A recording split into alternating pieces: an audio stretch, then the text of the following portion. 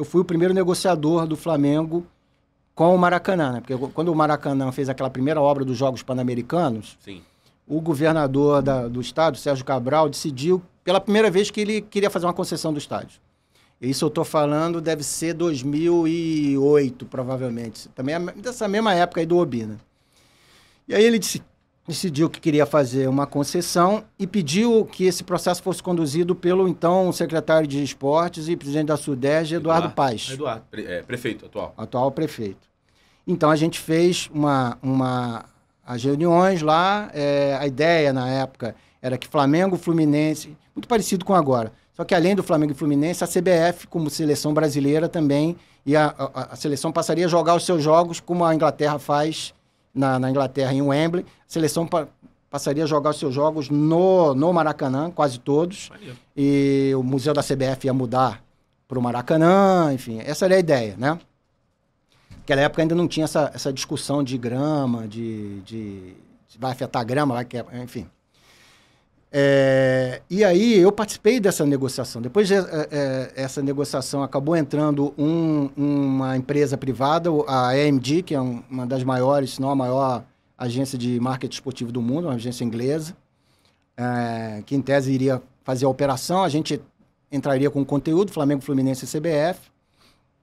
Fiz várias reuniões. As reuniões, normalmente, a gente tinha os negociadores, é, tinha eu pelo Flamengo e mais o é, o meu colega de diretoria no Flamengo, assessor da presidência, o Pedro Trengrause, advogado.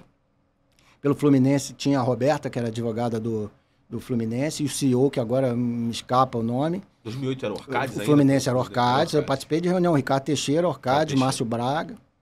É, convenci o Márcio aí na reunião, porque na época tinha um mal-estar dele com, com o Ricardo Teixeira.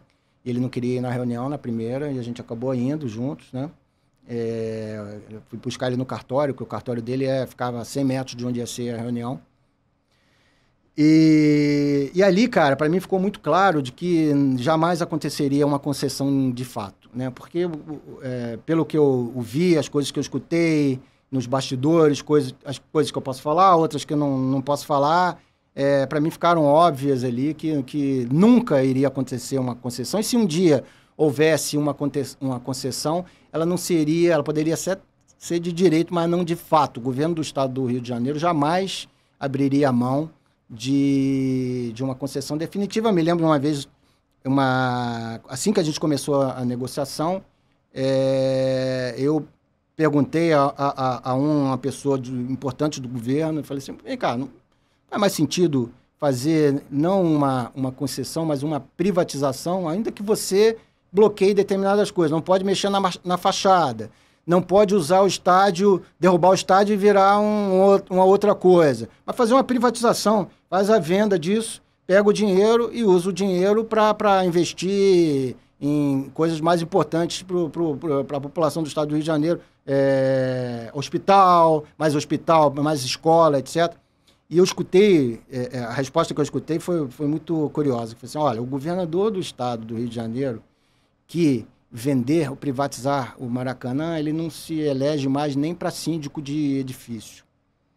É, então, essa é, uma, essa é uma hipótese politicamente é, nula, inviável. Ninguém vai fazer isso. Tem que ser uma concessão.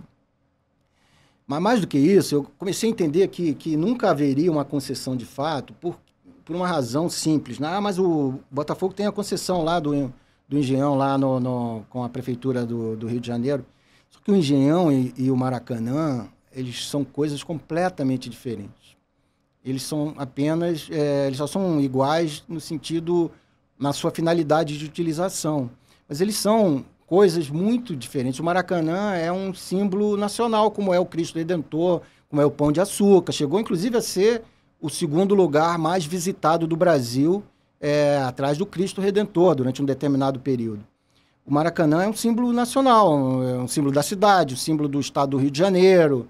É... Ele vai ser sempre, como símbolo, um equipamento político, para utilização política, pelo governador, é... pelo poder, é... quem estiver sentado na cadeira. Nunca, em momento nenhum, o estado do Rio de Janeiro, ou qualquer um que venha a ser eleito, vai abrir mão da utilização política do, do Maracanã.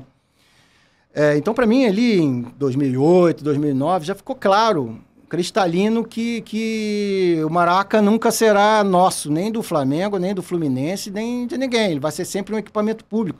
E eu não tenho problema com isso como cidadão. Eu, eu acho assim, o dinheiro do Estado do Rio de Janeiro, eu gostaria que o dinheiro do meu imposto fosse utilizado em segurança, em, em, em saúde, em educação. Mas tudo bem, é, tem um estádio lá que é um estádio é, como Wembley na Inglaterra, que é, tem, tem um valor simbólico, etc. Não tem problema nenhum.